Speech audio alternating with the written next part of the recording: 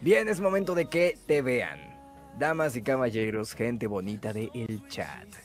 Les presento a nadie más, a nadie menos que... ¡Al niño Sundere! ¿Qué?